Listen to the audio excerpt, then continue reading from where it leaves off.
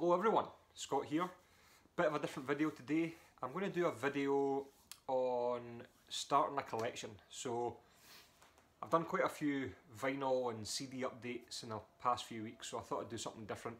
Uh, I've still got a, I've got still got vinyl to show, but I've got CDs and stuff coming in, vinyl coming in, so I thought I wouldn't bore you with another vinyl update.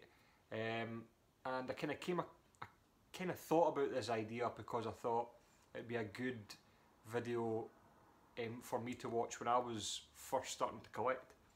Um, and it's just to basically stop people paying over the odds for records. Um, kind of teaching to be patient and um, just watch what you're buying. Um, so yeah, that's basically it. I went through my collection, which I quite like doing these kind of videos because it does give you a chance to go through your collection, see what you've got, see what you are missing. Um, a couple of things I noticed. I've lost my um, copy of Dio, Dream Evil. No idea where that is. And I also found an album still sealed, um, still in the shrink that I've not even looked at yet. Um, I think I actually bought that during the move, so it kind of just got stuffed away. But um, yeah, I've not even opened it yet. So, and the worst thing about it is I actually only bought it because it was so cheap on Amazon. I, I forgot to take it off my wish list, and it was so cheap I only bought it. So I would have put it away in my unit and realised I already had a copy. So yeah, it was quite good going through it all. Um, and I've basically just picked out albums that you can get cheap. It's like starting your starting your um, collection on a budget. Um, you don't want to go and start buying all the unless you've got the money. But me personally, and probably like the average person, you've got to work off a budget. So you wouldn't start with the Black Sabbath Vertigo Swirls originals from 1970 because um, that's going to cost you an arm and a leg. Where um, when I was first starting out, that could be used to buy maybe seven, eight, or nine records at a time. So I've basically picked out records that you can get to kind of kickstart your collection. And um, because the worst thing, I think, when you're when you first start to collect records is you want more and more and more. I'm kind of at a stage now where I'm quite content. I've got quite a, well, not as big as some of you guys, but it's big enough where I've got plenty to choose from. Um, I filled up my bins. Um, I'm actually reading a new Kallax. Um, but at the start, when you've just got like a pile that's like this big or this big, you just want more and more and more because you just you basically want to kickstart your collection. So that's what I've kind of done. I've pulled out records that are maybe I've got for five, six to eight pounds. There will be some reissues in there that are cheaper than the originals, and there will be some newish records as well that are actually going for still a good price. So I'm going to get into it because I've got a stack of stuff here so I'm just going to quickly run through it. I'm not going to explain about them, but I'll kind of go through they are cheap. So um, along with this video, do your research. Um, it's the best way to go. Go on Discogs, look for what things are going for. Don't get put off by eBay prices. If an album's going for £15, don't think that's its worth. That's just somebody trying to get a slab of cash for it. Um, so yeah, do do your research. So I'm going to start off with Bon Jovi, Slippery When Wet, a very um, a very popular album at the time, so there's plenty of these kicking about, so don't get forced into paying 15, 16 quid for this. This is an £8 record. Uh, Whitesnake, Slide It In. Um, I've seen loads of these about. This is about, I think, I think I got this for about 6 quid in good nick. These are all in like VG, VG Plus to excellent condition. So um, slide it in, Whitesnake, also a cheap record and very good. Uh, Chastain, picked this up recently, Ruler of the Wasteland. I think I picked this up for £5.50 on a vinyl, an online vinyl shop, and it's in superb nick. So that's that one. Um, Night Ranger, you'll pick up all kinds of Night Ranger for uh, really cheap. Um, Dawn Patrol, um, their debut, absolutely awesome. Um, I never, I didn't pay over a tenner for this, so um, and even less for these other two. Sorry about the glare. Um, so Night Rangers always a good way to go to start filling up your collection. Uh, not just cheap, but just awesome music. Um, David Lee Roth, Eat 'em and Smile, um, debut, don't know why I'm going to show you the back. Um, but the one with Yankee Rose, uh, you can pick this up for a fiver. Uh, Malmsteen's Rising Force, you'll see a lot of these out if you're digging. Um, I certainly do, and I don't think I've paid over eight or nine pound for one of these um, in VG Plus condition. Uh, Reckless, um, I think this is their only album. This was really really cheap. I think it was about a fiver. Um, it could even have been less. Um, and don't think just because records you don't know them um, or they're cheap, don't go by uh, how cheap they are because they can still be absolutely fantastic records. And this just goes to show that uh, that's true. So that's reckless and uh, no frills. Um, Great White, you will pay higher prices for some Great White, but um, for this, this is probably one of their most common albums I would see out in the wild, um, and I think this was six quid. So that was a, a cheap one. And like I said, don't get put off by if they're cheap. You don't want to just be hunting um, expensive records. Uh, bonfire and fireworks. Can't go wrong with um, early bonfire. Um, pick up any if you can for under a tenner. You will not be disappointed. Um, fireworks is probably the highlight of the 80s for me. Um, this is actually a newer one.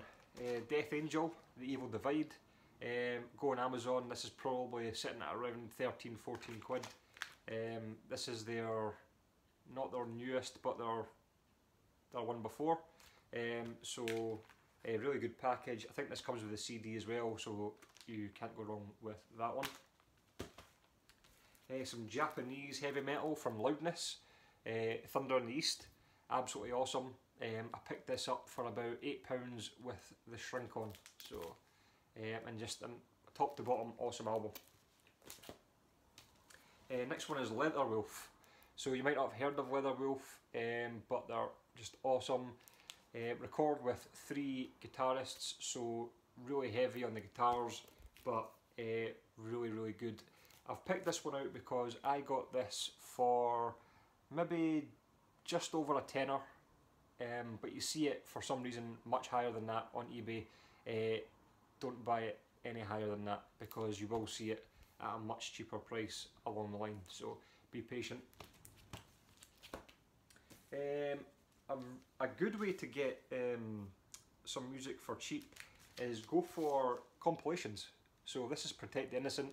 This has the likes of um, Black Sabbath, Motorhead, Lita Ford, Kingdom, Kingdom Come, Magnum, Vow Wow, Ozzy Osbourne, um, all sorts of good stuff on this. And this was about, does that have a price on it?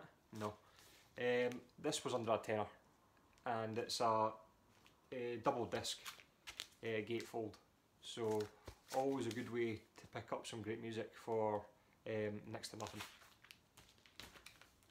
Um, another one, Metal Killers. If you see any of these, these should be going for about five or six quid.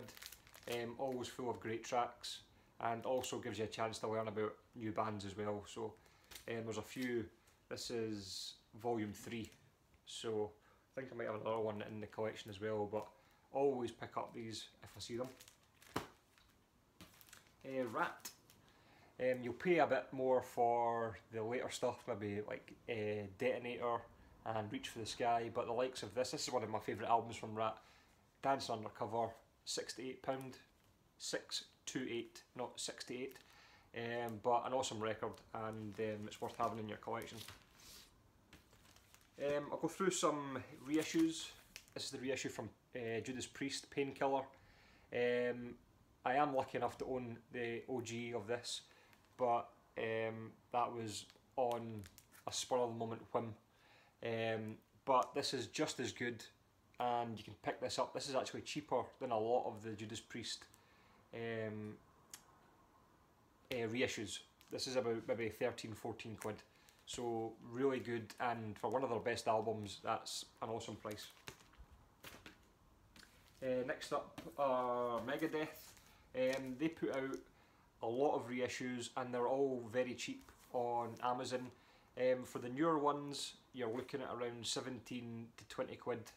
Um, but for some reason, the older ones, they go for um, a lot cheaper. So um, for the likes of Rust in Peace, you could probably pay about £13 for this, brand new. Um, so you can't really you can't really argue with that. And it's the same for um, Peace Sells. These two especially go for uh, really good prices, brand new. So no reason to not pick them up. Um, if you want some Kiss, uh, Crazy Nights, you'll always find this in a record shop or on eBay for really cheap. I think it's because this is one of Kiss's um, more frowned upon albums, but I really enjoy it. Um, compared to say Destroyer, I know Kiss fans you're going to hate me for that, um, but Destroyer, Love Gun, those are the kind of albums that can be put together to make one good album and get rid of all the other crap. But this, it's um, late 80s or mid to late 80s, so just full of that 80s flavour, and um, you'll pick it up for, like I said, cheapest chips.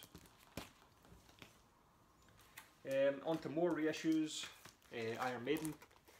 Um, you'll definitely pay less for these reissues than you would for the originals. Um, for some reason, again, this is my favourite album from Iron Maiden, and this is probably one of the cheapest. Um, I think I picked this up for about 14 quid. Um, you could easily pay more than that for the original, uh, seeing the Piece of Mind. Um, but I'm not one of those guys who has to have the original. I will literally go with um, most of the time what's the cheapest. Um, I'm not going to go out and buy an album just because it's the original and pay 30, 40 quid more for it when I could just pick up the reissue. Unless there was sound issues, um, then that was kind of a different story. But um, my collection is mixed. So, um, for instance, I do have um, a reissue of Iron Maiden's debut. Then Killers, their second album, I have um, an OG press, and then I go on to, and it just mixes, mix and match all the way through.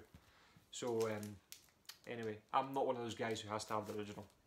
Um, next up, some Japanese rock from EZO. Um, also a great band like Loudness.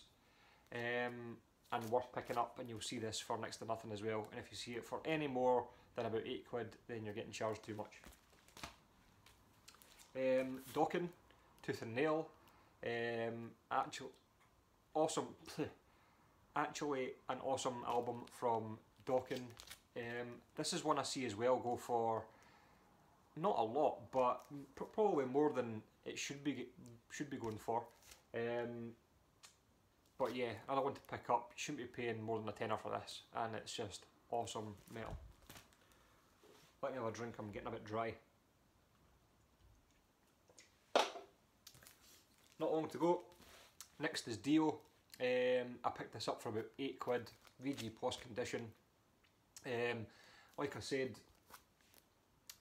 don't, if you see this and it's like your favourite album, don't pick it up when it's like 16 quid just because you really, sorry about the glare, uh, just because you really want it. You can pick up these albums for a really good price.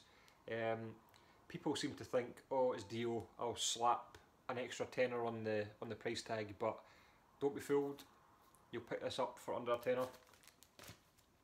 Uh, next up is Wasp. You'll pick up a lot of Wasp, especially the 80s stuff, uh, for a really good price. Um, this just happens to be one of my favourites, so I pulled this one out. Um, but yeah, 80s Wasp, you really can't go wrong with. You'll get them up, you'll get them pretty cheap. Um, Lizzie Borden. Um, these go for these are kind of mixed. You'll see these for not expensive, but you'll see them in maybe like the 14, 15, 16 pound range, and then maybe the next week you'll see them in the kind of seven or eight pound range. So again, be patient. You will see these for a really good price. So pick them up if you can because they are awesome. Uh, Bullet Boys. Now this is one that I paid over the odds for. Um, this is one I I got when I first started collecting and I think I paid about 14 quid for it and it's nowhere near a 14 pound album. Um, you should be able to pick this up for about 8 quid. Um, maybe less. So that is, uh, like I said, I was being impatient and I just jumped on it. And the last one is TNT Knights of the New Thunder. Um, just an absolutely awesome, uh, top to bottom heavy metal album. Um, and one again you see in the £15 range, maybe higher, when if you're patient enough you will pick up this for under a tenner. So that is a pretty good stack to kickstart your collection. Um, people who have already got their collections um, started and or you guys out there who've got a collection already on its way into the thousands or whatever, you can leave um, some ideas. But like I said, this is more aimed at people who are just starting out. Um, and I hope I kind of got across that um, it can be an expensive hobby if you let it be expensive.